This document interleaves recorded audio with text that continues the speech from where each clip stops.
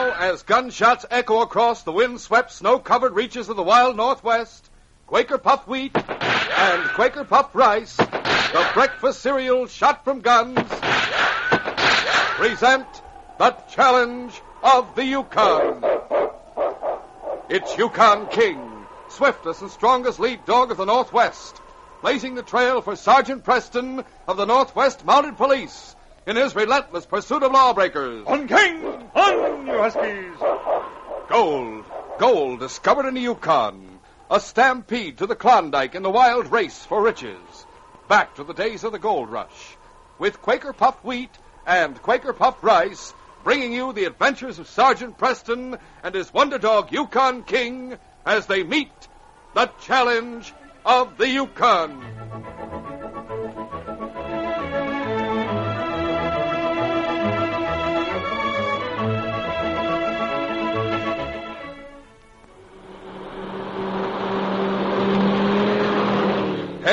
That fellow's in a big hurry. Whoa, look at him go. He's in a hurry, too. Seems like everyone's hurrying. That's right. Everyone's hurrying to the nearest mailbox. They're rushing to get their orders in for their official Challenge of the Yukon secret two-way signal flashlight. This brand new two-way signal flashlight is the amazing invention made specially for you listeners. It's a real flashlight that actually sends out beams of red light or beams of green light. It fits in your pocket so you can carry it with you anywhere. And with a flick of your finger, it flashes red or it flashes green. You'll agree there's nothing like it for signaling friends, for sending secret codes and messages. But to get your two-way signal flashlight, you'll have to hurry. It's not on sale in stores. For a limited time only, we're making a sensational offer. We'll tell you all about it in just a few minutes.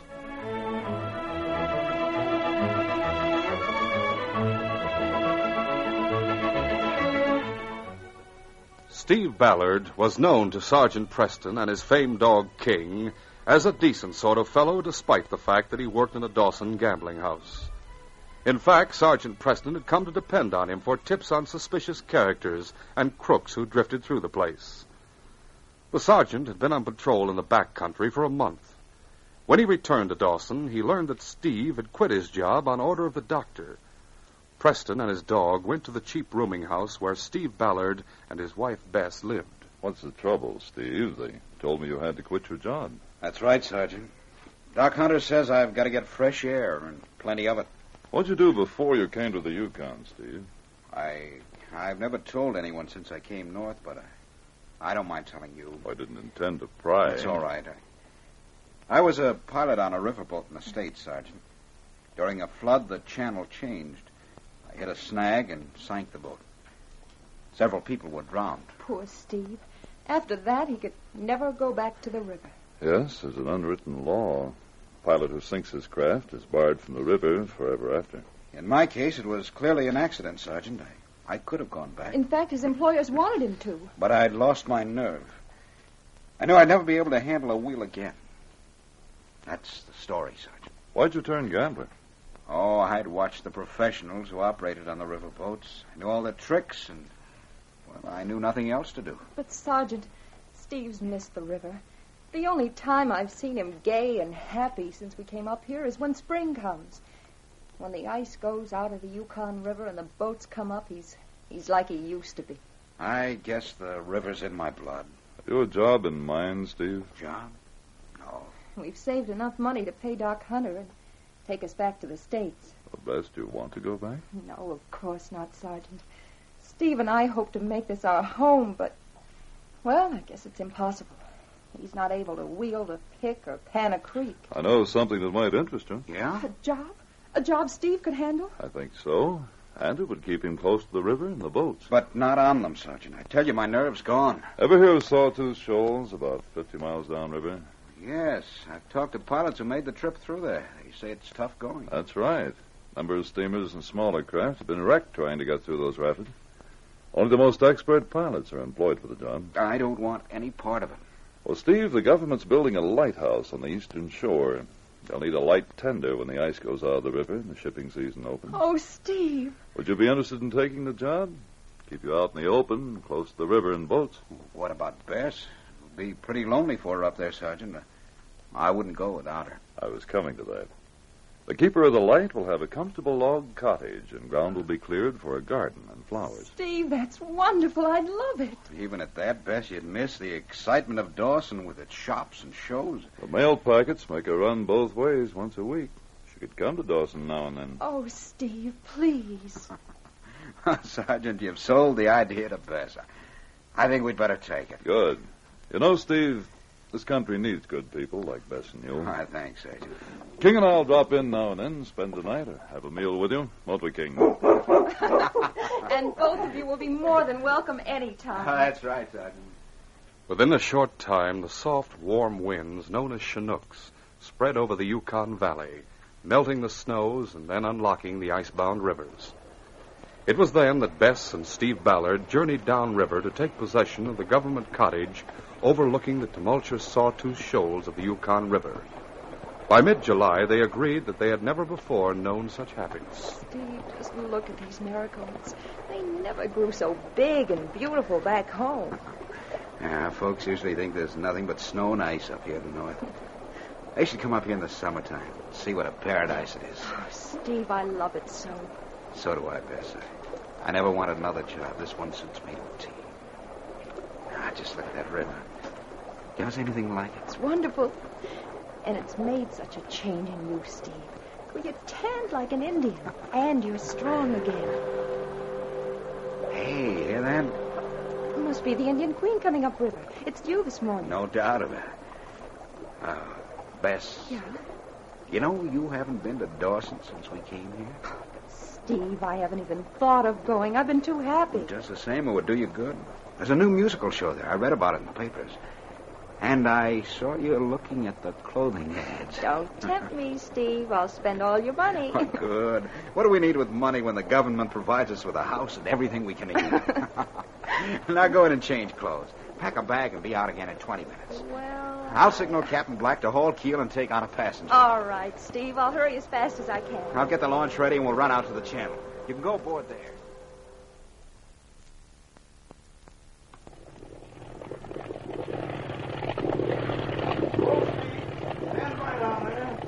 You're alongside now, Steve. Cut the throttle. Hi there, folks. Hello, Captain Black. Stand by for a passenger. Send her aboard, Steve. Glad to have her company. And don't forget a kiss before you go. No, I wouldn't forget. Ah. Now have a good time. I shall, and I'll be back day after tomorrow. Goodbye, sweetheart. Goodbye. Take my hand, man. Here you are. She'll be coming back with you on the return trip, Captain. We'll come downriver at about daybreak, Steve. You can have her breakfast ready. Okay, Captain. So long, Bess. Goodbye,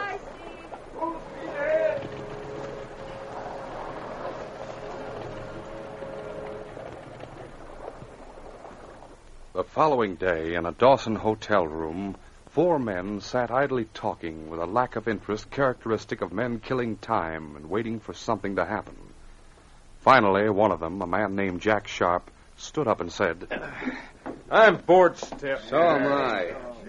Where's Ace Dunham? I don't know where he went when he left here, but he's got some scheme in mind. He should be back any time now. That's the trouble with Dunham. He never lets us in on his schemes until he's ready to act on them. Trouble?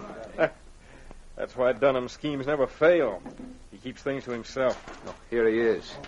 Hiya, boss. Well, boys, you can get going. We have work to do. Good, it's about ah, time. What's up, Ace? You boys remember seeing that little mail packet that came up river yesterday? The Indian Queen? Yeah. Yeah, sorry. See these tickets? Tickets? What about it? Yeah, I bought up all but one of the staterooms. Some woman's got the six. But why are we pulling out of Dawson? I thought you said we come up here to make a killing. Yeah, and we've done nothing since we got here a week ago. Killing Yeah. time. Uh, calm down, all of you. I just learned something mighty important. Secret stuff, too. what do you Let us on it. A quarter of a million dollars in gold bullion's going out on that packet tonight. And we're going to get it. Wait a minute. Did you ever hear of a word called piracy, Dunham? Yeah, I've heard of it. Well, they hang men for committing piracy. Don't let that worry you, Jack. I have this deal figured out to the last detail.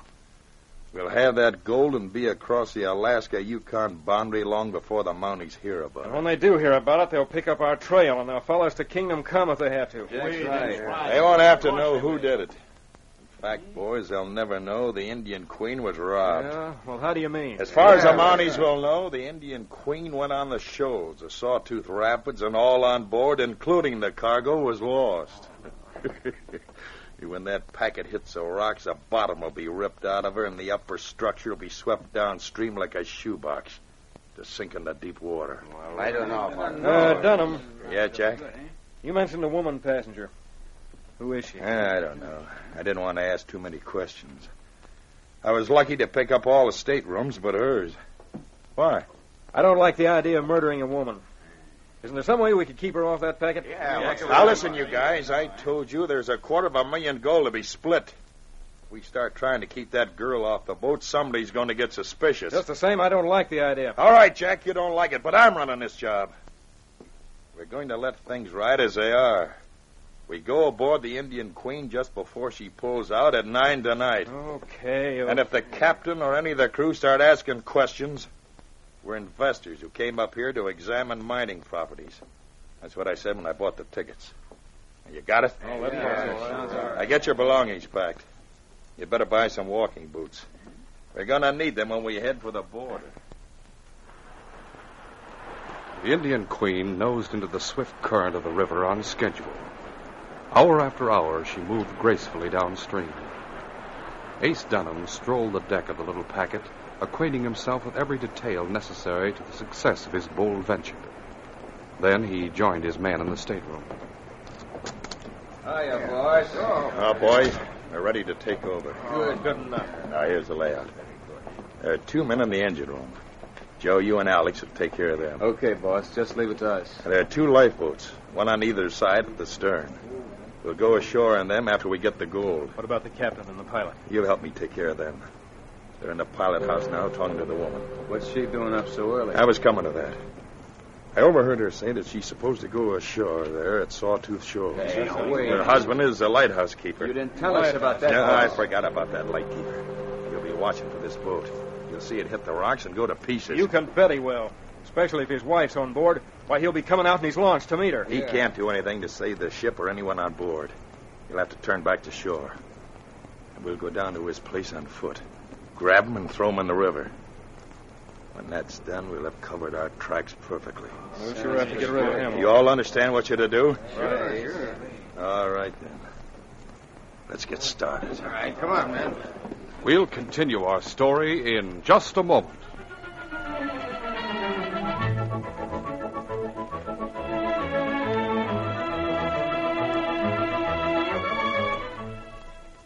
Quaker puffed wheat and Quaker puffed rice have done it. Yes, these crisp, tender, keen tasting breakfast cereals shot from guns have come up with an offer of a lifetime. It's a remarkable new invention made specially for you listeners. It's the new official Challenge of the Yukon secret two way signal flashlight. It's a special kind of flashlight. A real flashlight that's two way. That is, it sends out beams of red light or beams of green light. Think of it. It actually flashes either red or green. And it works with a simple flick of your finger. Can you believe it? Imagine having a two way signal flashlight like this for sending secret codes and messages. It works much like the blinker signal guns used by the Army and Navy. This secret signal flashlight has a special plastic directional signal barrel. That's to prevent others from detecting your secret signal flashes, except the person at whom they're aimed. What's more, you can carry this amazing two way signal flashlight wherever you go without anyone being the wiser. That's because it's pocket size. It fits snugly in your pocket. Talk about fun. You can make up secret codes and messages to signal friends. For instance, three red flashes might mean, hurry, I need help. Or two green flashes and one red flash might mean meet you at the hideout in five minutes. Say, your new official challenge of the Yukon Signal Flashlight has Sergeant Preston's name in his own handwriting across the side. This special signal flashlight is a beauty. It's shiny black and comes complete with standard replaceable electric bulb and battery. Send for yours today. Send while there's still time. All you do is send 25 cents in coin. That's all. Just 25 cents and one box top from a package of Quaker puffed wheat or Quaker puffed rice. Include your name and address printed plainly and mail to Flashlight, Chicago 50, Illinois. You'll go for this crisp, tender breakfast cereal of wheat or rice shot from guns. It's delicious. You'll go for this sensational new secret two-way signal flashlight. It's terrific. And it's not on sale in stores anywhere. So tonight, send 25 cents and one box top from Quaker Puffed Wheat or Quaker Puffed Rice. Mail with your name and address to Flashlight, Chicago 50, Illinois. That's Flashlight, Chicago 50, Illinois.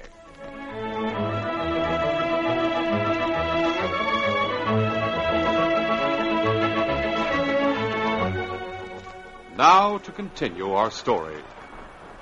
Unaware of the plot that was materializing around them, Bess Ballard, Captain Black, and the pilot were in the wheelhouse, enjoying the majesty and beauty of the Yukon River. This has been a wonderful trip, Captain Black. You'll never know how much I've enjoyed it. Yeah, maybe so.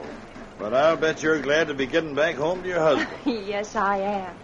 It's my guess Steve's fixing his breakfast just about now. I'll bet he'll come out to meet us before we get in the channel. He'll be that anxious to see you. Oh, I'm sure he will. He'll meet us with the launch. Yeah. Oh.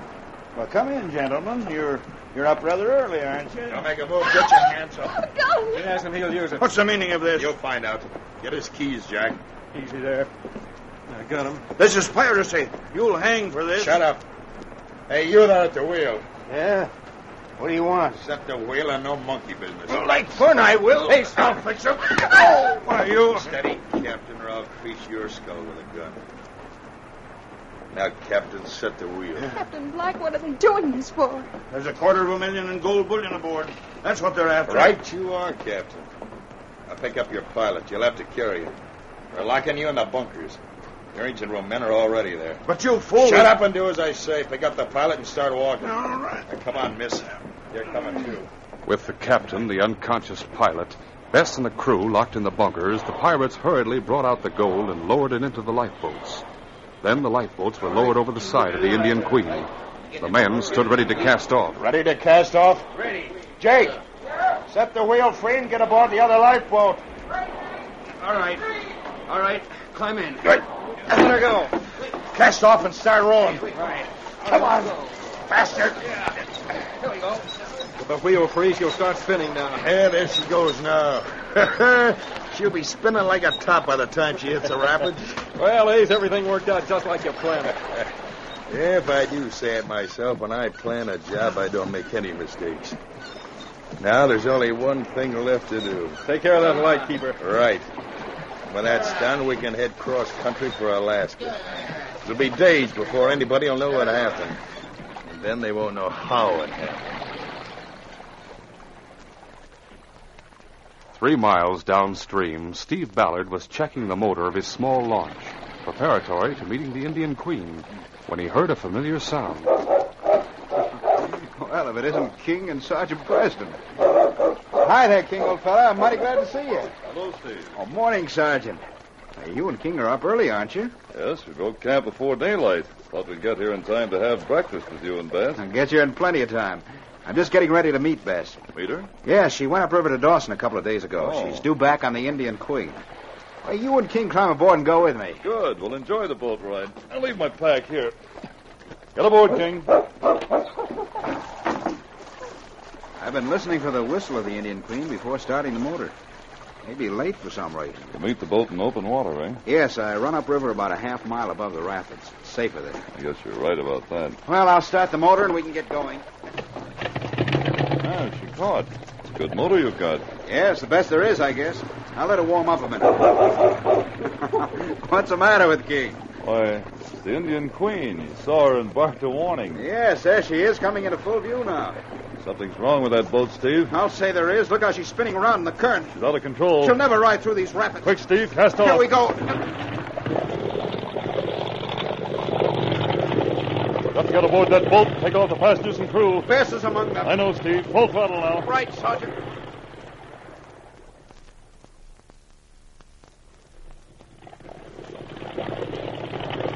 All right, Steve. Swing alongside the packet and I'll fasten the line. Here we go. Ready now. Easy. Make fast the stern line, Steve. Right, Sergeant. Hey, Sergeant, What is it? I don't see anyone in the wheelhouse. And there's no one on deck. There, we're tied alongside. Aboard, King. Let's go. I don't see a soul. Come on, Steve. Up to the wheelhouse. Right.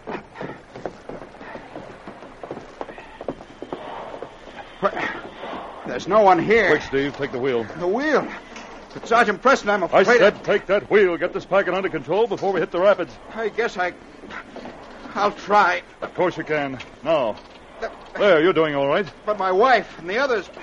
What's happened to them? Steve, Yeah, the lifeboats, they're gone. gone.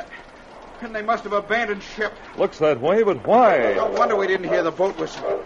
There was nobody aboard to blow it. Now, if I can just straighten her out. That's it. Steady now. There, you're doing all right, Steve. Getting near the shoals. Keep your nerve now. What's the matter, King? Where is he, Sergeant? Back by the bunkers. Acting very strangely. I better look into this. He's found something. We're going into the channel now. I hope I can handle it. Coming, King. What's the matter, fella? What have you found? Somebody's in there. I'll get you out. You're locked in. I'll have to break the lock. Let me get an axe. All the way, King. There. The Mountie. That man's hurt. He's the pilot. They knocked him out. There's no one to man the helm. We'll be wrecked on the shoals. There is a man at the helm, Captain. There is? Who is he? Steve Ballard. Steve? He can't handle the job. When we reach the shoals, this packet will be smashed to bits. He can't keep us in the channel. You're in the channel now, and you'll stay there. Steve Ballard used to be a river pilot. You bet Steve was a pilot, and one of the best on the river. Well, all I've got to say is he better be good. This stretch of water's the worst to be found on any river. Stay right here, all of you. Don't bother Steve Ballard. The small group waited as the packet rocketed through the churning waters, curving this way and that as the steady hand of Steve Ballard held her in mid-channel. In the tension of the moment, Ace Dunham and his gang were forgotten. Then, as the little packet swept beyond the shoals to smooth water, everyone rushed to the wheelhouse. Oh, Steve! Yes. You were wonderful. You made it. Well, I'll take over the wheel now. Thanks. The captain didn't think you could do it, Steve. Well, Sergeant, for a moment or so, I didn't think I would. But then, then I heard Bess's voice, and I, I knew I had to. Oh, Steve. All I've got to say is we need pilots like you on this river. If you ever get tired tending light, just let me know. I'll see that you get a job. Thanks, Captain. That's a real compliment coming from you. now, Captain, tell us who locked you in the bunkers. Hey, I forgot all about that. I was so excited. And so was I. What happened? Well, we were pirated. That's what happened. I was at the wheel when five men. Captain were Black, pirates Bess, and the pilot told how Ace Dunham and his men, posing as passengers bound for the seacoast, had overpowered them and robbed the packet, then sent it adrift in the expectation that it would be wrecked on the shoals. When they had finished, Sergeant Preston said, Captain, I'll have to ask you to anchor. Anchor? Yes, I must get a detailed report from you, description of the men and so forth. Yes, of course. I left my pack ashore. We'll go back in the launch. It's still tied alongside. And while you're helping the sergeant, I'll fix breakfast for all of us. Well, now that's what I call hospitality. I'll get the motorboat started, sir. You'll go ashore with us, Captain? Yes, Indian Queen can lie here at anchor. I'll leave the pilot and the crew aboard. Simpson, that's the word drop the anchor. Aye, aye, sir. Stand ready to drop anchor. Aye, aye, sir. Steve guided the launch upstream past the rapids and put into shore near the lighthouse. In the adjacent cottage, Bess Ballard served a hearty breakfast to the captain, to Steve, and to Sergeant Preston, while the Mountie secured information for his official report. Any more questions, Sergeant? Well, I have all the information I need, Captain. Now I must get after those five men who committed piracy. Sergeant Preston, where's King? He took out after a rabbit when we came up to the house. that's right. I saw him disappear in the timber. Maybe gone for an hour. These Yukon rabbits can give a dog a run, even King. Well, then I'll save his breakfast Oh, for him. come over. Hey, wait. It's them. It's the pirates. Five of them. Yes, it's us, and we mean business. Come on, men. Right with you. So you've turned pirate, eh, Dunham? You recognize me, eh, Mountie? From a description I got from the States not long ago, I was informed you and your gang were headed this way. You let me handle my troubles, Mountie. You're in plenty of trouble right now yourself. What'll we do with them, Ace? There's more of them here than we expected. Get that launch motor started, Jack. I said I was going to sink the Indian Queen with everybody aboard, and I'm still going to do it. I'd better disarm the Mountie before I go. Yeah, good idea. Go ahead. Take it easy, Mountie. While I disarm you. Don't try any tricks. I'll keep him covered. Go ahead, Jack. Take his gun. King had returned to the house and paused at the open door. He saw one man holding a gun on Sergeant Preston and another standing directly in front of the Mountie and reaching to disarm him. At that same instant, Sergeant Preston saw his dog and shouted. Get him, King! King charged into the room directly at the legs of Dunham with force enough to knock the outlaw off his feet. Sergeant Preston snatched the opportunity and drove a hard fist to the stomach of the man called Jack and followed with a hook to the chin. Call him back! King's jaws gripped the arm of Dunham. He held the outlaw down and helpless. Sergeant Preston's quick blows had put Jack out of the fight. Then the Mountie turned on another of the pirates. Steve Ballard and the captain had leaped into action and were attacking the remaining two. That does it. Stand back, boys. You crooks got your hands up, you're covered. I have a gun, too. Get him up, you rats. Call off this dog, will you? That'll do, King. Dunham, you can get up. Steve, you and the captain search these pirates. I'll keep them covered.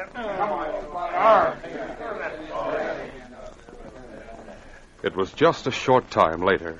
Dunham and his four henchmen had been taken as prisoners to the launch. They sat glum and silent. We've got to get these crooks aboard the Indian Queen, Captain Black. I hope you don't mind turning back up Rivers so I can take them into Dawson. Don't mind at all, Sergeant Preston. After what you and King and Steve did, it's little enough I'm doing in return. Uh, Captain, Yeah, yes, Steve. would you mind if If what? if I took the wheel and put the Indian Queen through the rapids again? Why, no, Steve. Why do you want to do that? To prove to myself I've got my nerve back. You see, I lost it once, and I never thought I'd regain it. Then the wheel's yours, Steve. I'll trust you any day. Steve, are you. Are you sure you can make it? You want to come along and see me? uh, if I wasn't sure, I wouldn't take you aboard. I'll go aboard. And this time, Mrs. Ballard, it'll be the pirates instead of us who are prisoners on the Indian Queen. Well, for that you can thank King. Yes, I mean you, King. If it hadn't been for you, those murderous pirates would have killed us all. Well, you're right about that. he acts like he's trying to tell us something, Sergeant. Maybe you know what he's saying. He's glad to see these men in ropes. He knows this case is closed.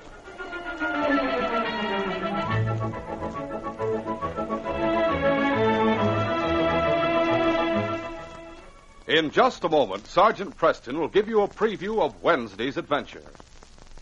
Now, fair warning. Our terrific Quaker puffed wheat and Quaker puffed rice offer will be over before you know it. Send for your new official Challenge of the Yukon two-way signal flashlight right now. You've heard how this special new pocket-sized flashlight sends out beams of red light or beams of green light. It's out of this world for secret codes and messages. Hurry, send for yours at once.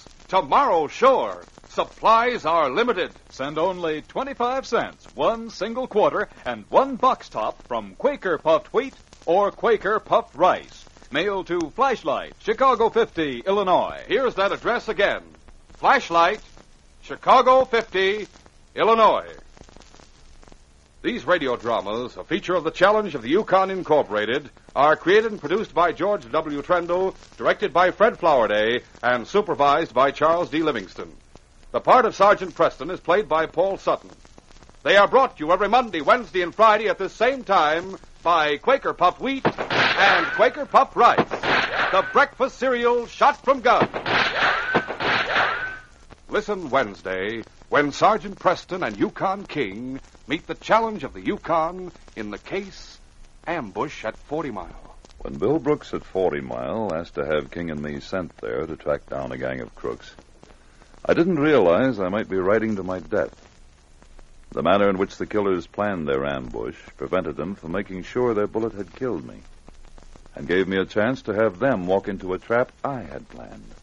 Be sure to hear this exciting adventure Wednesday. Till then, this is Jay Michael wishing you goodbye, good luck, and good health from Quaker Puffed Wheat and Quaker Puffed Rice. So long.